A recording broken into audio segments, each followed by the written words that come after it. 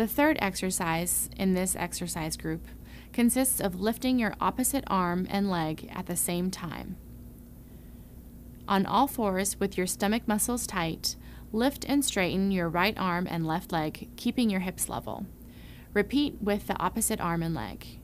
Perform 100 alternating repetitions, 50 at each leg.